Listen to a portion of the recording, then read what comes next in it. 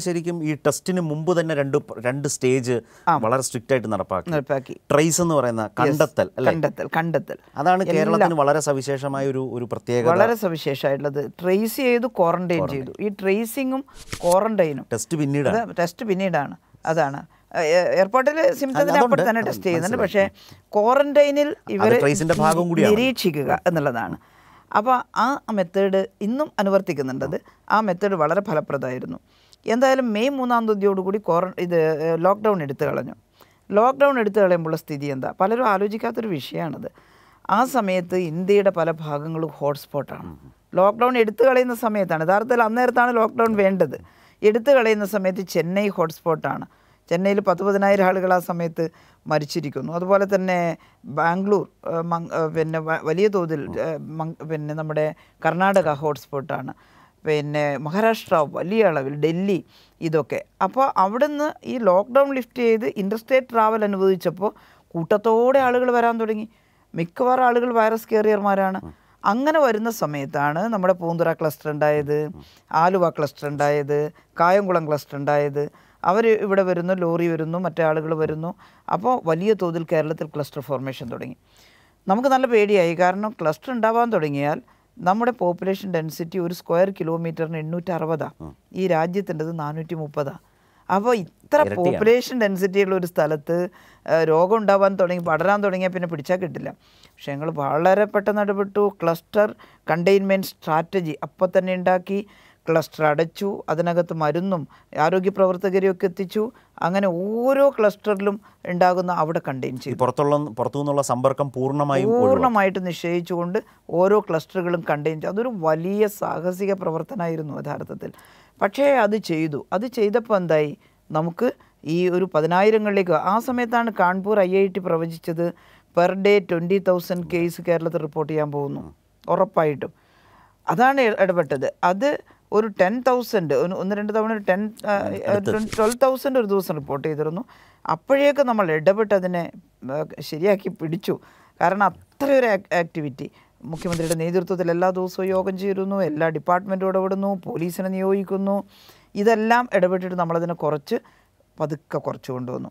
യഥാർത്ഥത്തിൽ ഈ ഗ്രാഫ് അങ്ങനെ ഉയർന്ന് ട്വന്റിയിലേക്കോ അല്ലെങ്കിൽ ഫിഫ്റ്റി തൗസൻഡിലേക്കോ ഒക്കെ പോകേണ്ടതാണ്. ഈ ഐ ഐ ടി ഒക്കെ പറഞ്ഞ പോലെ തന്നെ സംഭവിക്കാം. സംഭവിക്കേണ്ടതാണ്. സിസ്റ്റം ലൂസ് ലൂസ് ആയാൽ മരണം ഉണ്ടാവേണ്ടതാണ്. രണ്ടാമത്തത് ഈ ഇങ്ങനെ ഇൻഫെക്ടിവിറ്റി റേറ്റ് ഉള്ള ഒരു പാൻഡമിക്കിനെ നേരിടുമ്പം നമ്മൾ കാണേണ്ട ഒരു സത്യമുണ്ട്. എന്നെങ്കിലും ഒരു പീക്ക് ഉണ്ടാവും. അതിനെ പിടിച്ചു വെക്കാൻ പറ്റില്ല. അത് കുറക്കാനേ പറ്റുള്ളൂ. പക്ഷേ കേരളം ആ പീക്ക് ഡിലേ ചെയ്യിച്ചു. അതാണ് നമ്മളും മറ്റ് സംസ്ഥാനങ്ങളും തമ്മിലുള്ള വ്യത്യാസം. മറ്റ് സംസ്ഥാനങ്ങൾ പീക്ക് വന്ന് പോട്ടേം തീരുമാനിച്ചു. തീരുമാനിച്ചിട്ടില്ലെങ്കിലും അങ്ങനെ വന്നു. ഒപ്പം മരണവും കൂടി. ഓ മരണം കണ്ടമാനം കൂടി. കാരണം ഓൾഡ് ഏജ് പോപ്പുലേഷനിലേക്ക് പോയാൽ ഇപ്പോൾ ഒരു മൂന്നാൽ മാസം മുമ്പേ തമിഴ്നാട് പന്ത്രണ്ടായിരം മരണം എന്ന് പറയും ഇപ്പോഴും ഇപ്പോൾ ആരും മരണമൊന്നും റിപ്പോർട്ട് ചെയ്യുന്നില്ല. പിന്നെ കേസിന്റെ പോസിറ്റീവ് പോസിറ്റീവ് കേസും ടെസ്റ്റും ഒന്നും നമ്മളെ റിപ്പോർട്ട് ചെയ്യുന്നുള്ളൂ. കൃത്യമായിട്ട് നമ്മൾ റിപ്പോർട്ട് ചെയ്യണം. മറ്റ് സ്റ്റേറ്റ്സ് ഒക്കെ ഏതാണ്ട് അധികമൊന്നും കാണുന്നില്ലല്ലോ. മീഡിയയിലൊന്നും അങ്ങനെ കാണുന്നില്ല. അവരെല്ലാം മാസ്കും ധരിക്കുന്നില്ല. പക്ഷെ അത് കണ്ടിട്ട് അവിടെയൊന്നും പിന്നെ തമിഴ്നാട്ടിൽ മാസ്ക് ഇല്ലല്ലോ നമ്മൾ വേണ്ടാൻ തീരുമാനിച്ചില്ല. കാരണം നമ്മൾ ഈ പീക്ക് ഡിലേ ചെയ്യിക്കുന്നവരാണ്. അതുകൊണ്ട് രണ്ട് ഗുണമുണ്ട്. ഒന്ന് വലിയ പോപ്പുലേഷനിലേക്ക് പോയി കൂട്ടത്തോടെ ആളുകൾ മരിക്കില്ല. രണ്ടാമത്തത് ആ പീക്ക് ഡിലേ ആയതുകൊണ്ട് തന്നെ നമുക്ക് നമ്മുടെ ഹെൽത്ത് സിസ്റ്റം കപ്പാസിറ്റി ത്രഷോൾഡ് നമുക്ക് സൂക്ഷിക്കാൻ സാധിക്കുന്നു. അതിന്റെ ആ ഹെൽത്ത് സിസ്റ്റത്തിന്റെ മേലേക്ക് പോകുന്നില്ല വൈറസ് ബാധ. നമ്മുടെ ആരോഗ്യരംഗത്തിന് താങ്ങാവുന്ന താങ്ങാവുന്നിടത്തേക്ക് നിൽക്കുന്നു. ഇതിനിടയിൽ നമ്മൾ ആരോഗ്യരംഗം മെച്ചപ്പെടുത്തുകയും ചെയ്യുന്നു. കൂടുതൽ ഓക്സിജൻ ഓക്സിജൻ ലഭ്യമാകുന്ന ബെഡുകൾ ഒരുക്കി പൈപ്പ് ലൈൻ എല്ലാ ബെഡിനും ഓക്സിജൻ കൊടുത്തു. നൂറുകണക്കിന് ബെഡ്. ആ സമയത്ത് വെന്റിലേറ്ററുകൾ കൂടുതലുണ്ടാക്കി ഐ സി യു കൂടുതലുണ്ടാക്കി കൂടുതൽ വാർഡുകൾ സജ്ജീകരിച്ചു. ഇതിന്റെ തിരക്കായിരുന്നു. നമ്മൾ വിളിച്ചു പറഞ്ഞിട്ടില്ല ഓരോ ദിവസം ഇന്ന് നൂറ് ബെഡ് ആശുപത്രിയിൽ ഉണ്ടാക്കിയെന്ന്. പക്ഷേ എന്നിട്ട് നമ്മൾ എന്ത് ചെയ്തു? ഒരു പ്രിക്കോഷൻ എന്നുള്ള നിലയിൽ പഞ്ചായത്തുകളോട് നിങ്ങൾ C F L T C ഉണ്ടാക്കാൻ നൂറ് ബെഡ് വീതം കാണണം എന്ന് പറഞ്ഞു. പലരും പിന്നെ പരാതി പറഞ്ഞു ഞങ്ങളെ കൊണ്ട് ഇവിടെ നൂറ് ബെഡൊക്കെ മേടിച്ച് ഇടിയിപ്പിച്ചിട്ട് ഒറ്റ ആൾ ഇവിടെ കിടത്തിയില്ല എന്ന് പറഞ്ഞിട്ട് കിടത്തേണ്ട ആൾ വന്നിട്ടില്ല. അത്ര വന്നില്ല. അതാണ്. അപ്പോൾ നമ്മൾ ഈ സിസ്റ്റത്തിനെ റെഡിയാക്കി വളരെ വേഴ്സ്റ്റ് എക്സ്പെക്ട് ദി വേഴ്സ്റ്റ് എന്ന് പറഞ്ഞുകൊണ്ട് നമ്മൾ ചിന്തിച്ചു. ഞങ്ങളുടെ ആരോഗ്യ വകുപ്പിന്റെ വൈകുന്നേരത്തെ മീറ്റിങ്ങിൽ ഞങ്ങൾ ചോദിക്കുന്നത് ഇപ്പോൾ ഹെൽത്ത് സെക്രട്ടറി ഒരു ഡയഗ്രം ഒക്കെ വരച്ചിട്ട് ചോദിക്കും ഇന്ന് നിങ്ങൾക്ക് അയ്യായിരം കേസാണ് ഇത് അമ്പതിനായിരം ആണെങ്കിൽ നിങ്ങൾ എന്താ ചെയ്യുക? അപ്പോൾ അയ്യായിരം ആണെങ്കിൽ പത്തായിരം ആണെങ്കിൽ ഇവിടെ ചെയ്യും. ഞങ്ങൾ ബ്ലോക്ക് ലെവലിലേക്ക് പോകും. ഇനി അത് ഇരുപതിനായിരം ആണെങ്കിൽ നിങ്ങളെവിടെ പോകും. ഞങ്ങൾ പഞ്ചായത്ത് ലെവലിലേക്ക് പോകും. അമ്പതിനായിരം ആണെങ്കിൽ നിങ്ങൾ എന്ത് ചെയ്യും? ഞങ്ങൾ താഴെ സബ് സെന്റർ ലെവലിലേക്ക് പോകും. അവിടെ എല്ലാം ഇതൊരുക്കും. അപ്പോൾ ഈ ഒരു സ്റ്റഡി അവരെ കൊണ്ട് നടത്തിച്ച് അതിനുള്ള ഒരുക്കങ്ങൾ അവരെ കൊണ്ട് ചെയ്യിച്ചു. അപ്പോൾ ഒരു പഞ്ചായത്തിൽ ഒരു അമ്പതിനായിരം കേസ് വന്നാലും ഒരു പഞ്ചായത്ത് പഞ്ചായത്തിൽ. ആ അമ്പതിനായിരം കേസിനെ എവിടെ വിന്യസിക്കണമെന്ന് ആരോഗ്യവകുപ്പിലെ ഓരോ പ്രവർത്തകർക്കും വ്യക്തതയുണ്ടായിരുന്നു. അപ്പോൾ അമ്പതിനായിരം വരുമ്പോൾ അന്തം വിട്ട് നിന്നിട്ട് ഇനി ഒന്നും ചെയ്യാനില്ല. ഇനി കൈവിട്ടു. കൈവിട്ടു എന്ന് പല ലോകരാഷ്ട്രങ്ങളിലും പറഞ്ഞതുപോലെ കൈവിടാൻ കേരളം ഒരുക്കായിരുന്നില്ല. അങ്ങനെ പീക്ക് ഡിലേ ചെയ്യിച്ചത് കൊണ്ടാണ് മരണനിരക്ക് കുറയ്ക്കാൻ നമുക്ക് സാധിച്ചത്.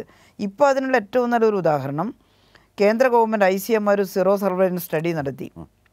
അതായത് ഈ സമൂഹത്തിലേക്ക് കോവിഡ് എത്ര പോയിട്ടുണ്ട്. അപ്പോൾ എന്തായാലും നമ്മൾ കണക്കെടുക്കുമ്പോൾ കുറച്ച് വിട്ടുപോകും. ചിലരിപ്പം പനിയൊക്കെ വന്നിട്ട് പറയാത്തവരുണ്ടാകും.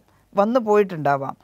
അങ്ങനെ വന്നു പോയിട്ടുണ്ടെങ്കിൽ കണക്കിൽപ്പെടാത്തത് എത്രയുണ്ട് എന്നുള്ള പരിശോധന നടത്തുമ്പം കേരളത്തിൽ മൂന്നിൽ ഒരാൾ റിപ്പോർട്ട് ചെയ്തിട്ടുണ്ട് കൃത്യമായിട്ടും.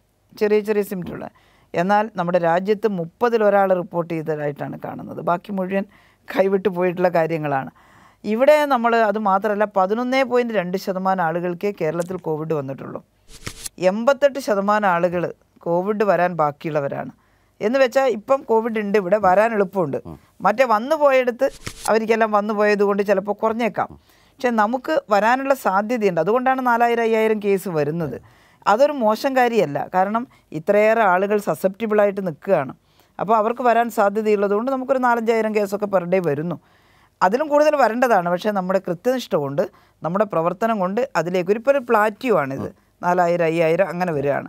അത് കണ്ടിട്ട് ആ നമ്പർ കൊണ്ട് കേരളത്തിലാ കേസ് കൂടുതലെന്ന് പറയാൻ പറ്റില്ല. മറ്റിടത്തെല്ലാം വന്നു പോയി. വന്നു പോയത് കൊണ്ട് എന്ത് തിരക്കീടുണ്ടായി?